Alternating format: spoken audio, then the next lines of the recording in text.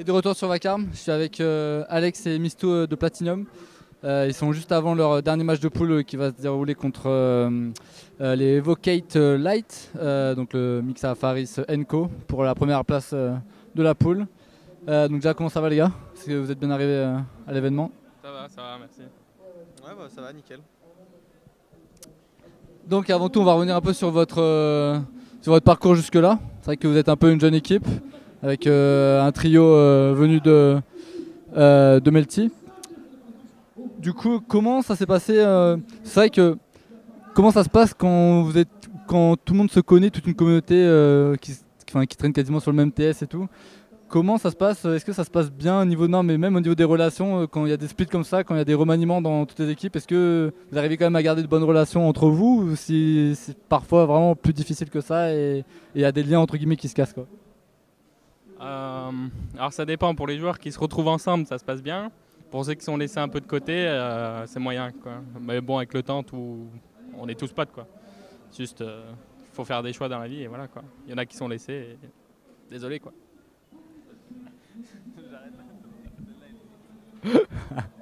Ça va. donc comment, comment vous êtes arrivé à avoir ce, ce 5 là c'est vrai qu'on a, un peu l'impression que vous avez pris vraiment tous ceux que, bah par exemple, il y a XMS qui, a vraiment, s'est illustré avec, euh, avec Platinum, donc euh, c'était un choix logique. Euh, est-ce que c'était vraiment en mode, on prend vraiment ceux, les nouvelles têtes, les, vraiment les joueurs les plus skillés On a l'impression que c'était ça, quoi. alors, quand on a arrêté avec Melty, donc à la base, Misto devait même arrêter avec nous. On était parti sur un autre 5 carrément. Euh, après, euh, on a discuté, ça se passait bien, mais bon, euh, il manquait un truc, donc j'ai redemandé à Val s'il pouvait jouer avec nous. Et après, XMS, il était déjà avec nous, et on a récupéré Loki parce qu'on voulait. Lambert est passé leading game, et il nous fallait un sniper, et Loki, c'était le choix logique pour nous. Ouais, c'est vrai qu'à la, la base, Lambert était entre guillemets mis entre parenthèses sur sur l'équipe qu'on voulait former entre guillemets. Mais après voilà, on a pas mal discuté de, des pour et des contre de tous les joueurs qu'on pouvait euh, sortir du, lot dans le subtop. Et c'est vrai que Lambert avait les meilleures chances de, progresser. Il passait pas, enfin, il y avait des leaders qui étaient plus, par exemple comme Malek, qui avait plus d'expérience que lui. Mais sur le moyen long terme, Lambert a une marge de progression au niveau de son lead qui est beaucoup plus haute que par exemple celle de Malek, je pense. Après, il n'y a rien de on n'est pas sûr, c'est un pari, c'est comme GMX. Euh, c'est un pari qu'on fait et pour l'instant bah, ça se passe bien. Donc euh, pour l'instant le choix, le choix Lambert était, était bien. Donc Loki, euh, Loki a d'autres qualités que Lambert n'a pas. Il apporte un peu plus de, un peu plus de folie. Ça a ses avantages et ses inconvénients. Mais c'est vrai que comparé au, style de jeu qu'on avait avec Lambert et son sniper, on a un, on a un jeu qui, qui colle bien avec celui d'Alex. Et Chaton, enfin XMS, il, il s'imprègne de ça et ça peut donner quelque chose, quelque chose de bien. Quoi donc voilà, enfin l'équipe, euh, l'équipe se complète bien au final. donc avant de revenir un peu sur votre préparation et sur cette GA, c'est vrai que j'avais, j'avais pas pris tes nouvelles, mais c'est vrai que comment ça se passe du coup au niveau. Euh, c'est quoi C'était l'épaule c'était? Donc euh, est-ce que, est-ce que c'est bon du coup Alors non, je me suis pas fait opérer parce que suite à des entretiens avec, avec mon ostéopathe, j'avais pas le. Enfin, je la sentais pas tout simplement. Donc je suis allé prendre un deuxième autre avis dans une clinique un peu plus un peu plus privé, la clinique du sport à Paris. Et c'est un truc qui, prend énormément de temps pour avoir un rendez-vous, etc.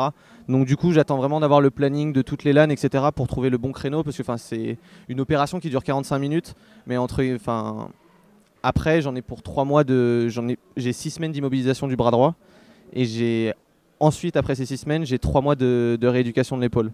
Donc c'est quelque chose qu'il faut que je prépare, et pour l'instant, c'est pas contraignant pour moi. Si je fais attention à mon épaule, j'ai pas de, pas de soucis. Donc euh, pour l'instant, je laisse filer. Et puis quand il y aura le bon créneau, euh, je le ferai cette opération. Bon, c'est le meilleur euh, de ce point de vue-là, pour en revenir donc après l'Epsilon que vous avez remporté face à, à, Dead Pixel et LDLC Blue au troisième. comment est-ce que, est-ce que vous attendiez déjà à battre, euh, enfin à jouer contre Dead Pixel en grande finale. Et est-ce que, euh, est-ce que comment vous avez trouvé l'événement? Quel, bilan vous avez tiré euh, après cet Epsilon quoi? Pour nous ou en tout pour, pour la LAN? Pour nous, bonne première LAN, parce qu'on la gagne forcément. On prend qu'une map face à Blue sur train qu'on pensait être préparé dessus, mais on a vu que c'était pas le cas et Icorp ils nous ont même mis en overtime. Une bonne perte de leur part aussi, ils sont vraiment bons. Donc ouais, euh, après, oui, on a vu qu'on avait quand même pas mal de, défauts. on a essayé de travailler dessus, on va voir ce que ça donne là. Après, pour Dead Pixel, j'étais un peu surpris, apparemment non. Euh, je pensais pas qu'ils allaient battre Blue. Après, en BO1, voilà, tout peut arriver. J'espère que s'ils peuvent les rejouer là en BO3, qu'ils le euh, tant mieux pour eux. Quoi. Ouais, bah ouais, au final, une Epsilon qui se passe, euh, qui se passe plutôt bien. Euh, Blue, ouais, c'est comme d'habitude. c'est même la finale underdog, c'était super serré. Au final, on met un sur un comeback de folie. Après, on se fait, on se fait gifler sur train. Puis après, ouais, Mirage. je pense qu'ils nous attendaient pas à ce niveau-là sur Mirage. Après, Blue, comme on en a discuté, c'est une équipe qui. Alors, c'est pas méchant ce que je vais dire, mais qui se pense bon sur Mirage.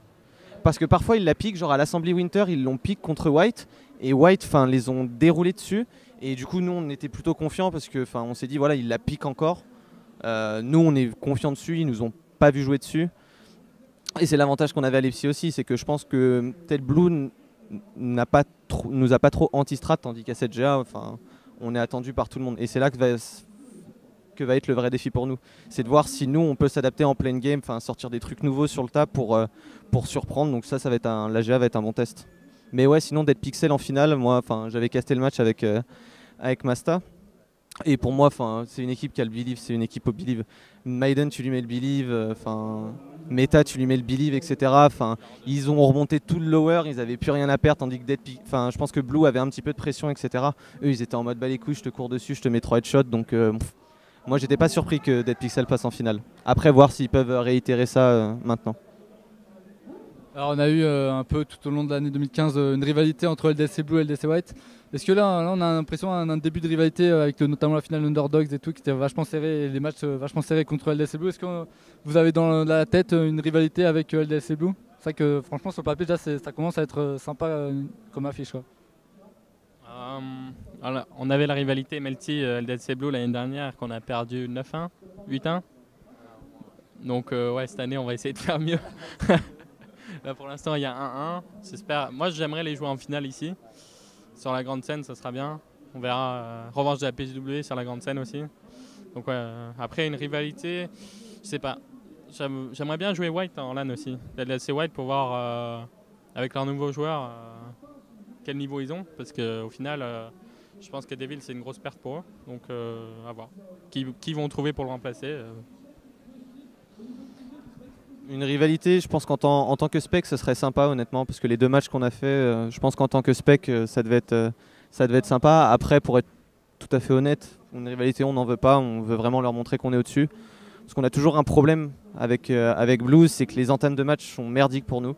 C'est-à-dire qu'on se prend, on se prend 10-0, etc. Mais enfin, à chaque fois, on arrive à comeback. Euh, un, on fait un comeback de ouf, on va en overtime, on... en double overtime, ouais. Pareil à la, pareil à l'Epsilon sur Inferno. Train, on s'est un peu amélioré, mais bon, ils nous battent, euh, ils nous battent 16-14. Et puis D2, bah, des deux, enfin voilà, encore une entame de match où on perd 7-0, etc. Donc c'est vraiment ce qui nous fait, euh, ce qui nous fait défaut contre Blue. Mais voilà, nous on aimerait vraiment passer au-dessus et faire un petit peu une saison White où voilà, on n'a plus rien à faire en France concrètement. Moi c'est mon avis. L'année dernière, White ils, ont tout gagné, sauf si voilà ils voulaient euh, remporter une GA ou une PGW, peut-être qu'avec un peu d'orgueil revenir, mais ils ont clairement plus rien à faire en France. Donc ouais, s'imposer en France et commencer un peu à gratter. On est dans 2-3 tournois inter, donc euh, à nous de, on a toutes les cartes pour, euh, pour progresser. Mais non, on, ne voudrait pas encore d'une rivalité avec avec. Un petit mot euh, sur le lead de Lambert, du coup, donc c'est lui qui a repris. Euh, sachant que voilà, chez euh, Melty ça avait pas mal bougé, notamment tu étais passé. Donc qu'est-ce qu'il apporte lui en tant que lead et ouais, ce que vous avez connu, les différences avec ce que vous avez connu chez Melty quoi? Il y a eu deux changements, enfin ouais. Lambert est passé lead et je suis passé co-lead aussi, avec Misto qui redirige sur son extrémité. Et il s'avère que Lambert et moi on se complète plutôt bien. Parce que lui, moi je suis un peu agressif, lui il est un peu plus passif, euh, donc euh, ça se complète bien. J'étais, pas, quand on a parlé de ça au début, il y avait encore Mistou, et on voulait changer de lead avec l'ancienne équipe Melty. Et on s'est dit, euh, Lambert voulait le faire, on lui a dit non. Et euh, donc là, j'étais un peu euh, pas inquiet, mais je savais pas trop à quoi m'attendre. Et franchement, ça se passe super bien. Je pense que niveau lead, il gère bien, il travaille comme il faut, donc il n'y a pas de souci. Après, c'est à nous de gérer ensuite. Quoi. Si on perd contre Blue, je pense pas que ce soit à cause du lead dans les underdogs. Non, ouais, Lambert a toutes les cartes en main, honnêtement, pour devenir un bon leader. Peut-être pas s'imposer comme genre le meilleur leader du subtop français, etc. Mais il a un lead qui est plutôt correct. Derrière nous, en plus, si avec Alex, on fournit un bon taf pour l'aider, donc ça lui permet d'être un peu plus léger euh, sur son lead et sur sa com. Mais voilà, on fait encore des petites erreurs parce que voilà, Loki. Euh, Loki il est agressif à en mourir, il est, enfin, il tient pas en place. Chaton, c'est, enfin, XMS, il a des problèmes de mémoire, enfin, des, trucs de ouf. Mais non, non, c'est grave, c'est que Lambert va call quelque chose et une seconde après, Chaton, il va faire euh, Bon, les mecs, qu'est-ce qu'on fait? Ah, enfin. Ah, il va te faire trois shots, mais entre temps, il y a un Nick ta mère qui part, quoi. Donc, euh, enfin. mais voilà, on faut encore travailler, être plus, rigoureux avec nous-mêmes sur euh, tout ce qui est jeu terreux, etc. Enfin, les défenses de BP, les reprises de zone, etc. Et une fois qu'on sera vraiment rigoureux avec tous ces petits principes de jeu, je pense qu'il y a moyen de faire quelque chose. Et Lambert, il contribue beaucoup. Justement, juste euh, pour rentrer un peu plus en détail sur le lead, c'est quoi, c'est quoi être un lead correct pour vous justement Comme tu dis, voilà, euh, Lambier c'est un lead correct. Est-ce que c'est quelqu'un qui va vraiment faire des strats euh, avant les games et les exécuter ou c'est vraiment plus dans la lecture du jeu Il y a souvent plusieurs styles de leader. alors déjà, on fait quelque chose depuis qu'on a créé l'équipe qu'on n'a pratiquement jamais fait avec Melty. C'est déjà on prépare les gros matchs. Donc c'est-à-dire que ce soit sur internet ou en LAN, etc., on essaye toujours d'arriver dans un match avec, euh, avec le plus d'infos possible sur l'adversaire. Comment ils jouent, quelles sont les préférences, euh, est-ce qu'ils font beaucoup de fake, euh, est-ce qu'ils font beaucoup de fouini, beaucoup de départs à 3 sur un BP, etc. Donc ça déjà, nous, on est beaucoup plus serein quand on arrive dans un match. On n'est pas à la tête dans le noir, etc. On sait déjà à peu près... Ouais, voilà, totalement. On prend pas des rounds bêtes et voilà, au bout du cinquième round, ah bah ils font ça, ils font ça. On sait déjà à peu près tout ce qu'ils peuvent faire. Donc déjà ça, ça, aide au niveau du, lead de Lambert parce qu'il sait à peu près où se diriger. Euh, ensuite, Lambert, c'est quelqu'un qui s'est aussi beaucoup adapté au style de jeu d'Alex. Il n'est pas arrivé avec son, son lead, son jeu carré, etc. Il a fait OK, vous voulez jouer comme ça, on va travailler, on va regarder les démos, voir ce qui s'apparente le plus à, notre style de jeu, et puis on va faire un mix de tout ça. Et puis, euh, et c'est aussi c'est quelqu'un qui n'est pas borné. C'est par exemple comme euh, quand XMS va call, quand Alex va call, quand je vais call, etc. Il n'est pas du tout fermé. C'est pas un lead qui est. Enfin, c'est pas un lead con qui va dire bah voilà j'ai dit ça début de round, on fait ça et tu fermes ta gueule. Enfin, tu rush blanc, tu fais tout ce que tu veux. Donc, euh, et c'est quelqu'un aussi qui travaille beaucoup. Enfin, à côté, enfin par jour, il regarde au moins 2-3 démos, etc. Donc, enfin, il se donne vraiment. Donc, euh, nous on est indulgents on essaye de l'aider, etc. C'est vrai que moi, parfois, il me demande ben, qu'est-ce qui va pas, etc. Je fais, sois plus impartial dans cette situation-là, impose-toi plus. Euh, si tu dois insulter, insulte, mais fais-le doucement, quoi. Enfin, et, essaye, voilà, de, au maximum préparer les matchs parce que c'est lui, qui prépare le plus les matchs avec Alex. Et voilà, enfin, viens avec ton briefing, sois le plus clair possible, t'embrouille pas l'esprit, prends les grandes lignes du jeu, examine par round par round, euh, etc. Vraiment, plus, euh, le plus précis possible sans forcément faire un débrief d'une demi-heure. Ça marche, bon, ben, merci euh, pour toutes euh, ces infos inside un peu. Euh, on va arriver sur cette GA. du coup, avec une prépa, un bootcamp, si j'ai bien compris. combien de temps? Le pire bootcamp. C'était chez moi, 40 mètres carrés, on était 7. quand tout, le monde voulait dormir, on se marchait dessus, mais bon, c'était drôle. Ah bah oui, ça change de métier, ouais, en effet. Après, euh, on a passé une ou deux semaines après, après depuis non, même l'Underdogs, enfin depuis l'Epsilon, on n'a pas été bon. Sur Internet, on n'est pas bon. On perd tous nos matchs au euh, les UCC, les CEVO, on perd contre des équipes qu'on ne doit jamais perdre. Euh, même les Underdogs, on a très mal joué, même si on a fait des matchs serrés. Donc ouais, le bootcamp il s'est bien passé parce que je trouve qu'on a quand même bien bossé. Mais les matchs office passaient pas bien non plus. Donc euh, c'était un mélange des deux. J'espère que ici tout va fonctionner, tout va, tout va se mettre en place et pour l'instant ça se passe bien. Euh, pour le moment tout s'est bien passé, vous êtes invaincu dans votre pool. Euh, un petit mot sur les vocates que vous allez jouer pour le, le high seed dans l'arbre Bah là, ça va changer. Enfin, il va y avoir un énorme contraste entre les équipes qu'on a jouées et, Evocate. Bah voilà, il y a du skill, hein, Rimex, euh, Anyone, euh, enfin les gens comme ça, ça met, ça met des headshots. En plus, on joue des deux. Donc là, on va avoir un, petit apéritif de, l'arbre. Donc c'est à nous de voir si on s'est pas trop endormi depuis, depuis 13 heures, parce qu'on a eu la pause. Enfin, les matchs de poule étaient pas chiants, mais voilà, c'est c'est parce qu'on est venu chercher des Euromatchs et que c'était des grosses équipes, etc., qui sont, qui sont là. Donc euh, voilà, ça sera. Si on sera réveillé, normalement tout, tout se passera bien. Un petit mot sur euh, la géant elle-même. Euh, j'ai cru comprendre que tu avais des petits problèmes de place. 64 équipes, ça fait un peu serré. Juste là, ben, si. Bah, ça va. On a réussi à. Mais voilà, il y a pour y avoir un peu plus de place. Quoi. 30 cm en plus par table, on serait bien. Mais ça va. c'est pas, pas comme à l'époque où tu devais mettre ton écran comme ça. non, ça va. Ça va. Euh, la géant elle-même, on a été faire un tour là dans les stands. il fait chaud, mais ça va, c'est, bien. Là, ici, euh, ça se passe bien. Les admins, ils sont cool, donc pas de soucis. Nous, on n'a pas eu de soucis en tout cas. Là, il y a une petite scène, enfin, petite scène, entre guillemets, c'est agréable. On va regarder un match, tu te fais. Euh, après, euh, c'est dommage qu'il n'y ait pas plus de matchs sur les petites et grandes scènes, je trouve. Ça fait quand même pas mal de vues, donc. Euh, un peu dommage, mais voilà, sinon, pas de soucis. Alors bon, je vais pas vous demander vos ambitions, et votre objectif pour cette GA. Je pense que tout le monde a compris que vous jouez à la gagne, évidemment.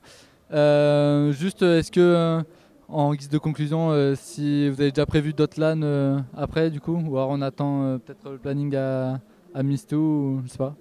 Peut-être même, enfin même niveau inter, c'est que Platinum peut avoir les moyens potentiellement de vous envoyer un inter. on n'a pas de LAN en soi, ouais les Final Masters. Mais sinon, on n'a pas de LAN de prévu en soi. On va faire les LAN qu'on veut, entre guillemets, parce que comme tu as dit, Platinum, ils ont les fonds. Après, notre objectif, notre objectif, c'est de se qualifier à une LAN inter, enfin au moins une. C'est vraiment, on va en faire une cette année, quoi. au moins une. Et... Après, l'objectif aussi qu'on s'est dit, quand on a quand on a créé l'équipe, l'objectif avec, cette équipe au court moyen terme, c'est la qualification à un minor, à un minor. Donc là, il n'y a pas trop d'infos, donc euh, enfin ça nous laisse du temps pour nous préparer, etc. Mais on a vu avec l'autre minor que tu peux sortir de nulle part si tu fais ce qu'il faut. Euh, tu peux être un minor. Et je pense que c'est pas, enfin, toutes les équipes françaises qui sont à peu près préparées, je pense qu'ils se disent tous la même chose, quoi. Quand tu vois les CG, enfin, les équipes comme ça, les Pixel Fire, qui, il y a des petits noms, hein, mais c'est pas, c'est pas grandiose, quoi. Donc ouais, c'est ça l'objectif à, court terme. C'est dès qu'on aura les infos sur un minor, on saute dessus, quoi. Oh bah merci, euh, je vais vous laisser le dernier mot et je vais vous laisser euh, aller jouer contre euh, les Evocate du coup et on se retrouvera peut-être plus tard. Euh, donc euh, je remercie euh, bah, vous pour l'interview, Tesoro et Platinium, donc Cobra et Marco qui font un excellent taf pour nous, Bouboun, Dave notre manager, rien à dire, hein. très bien. Merci à vous les gars.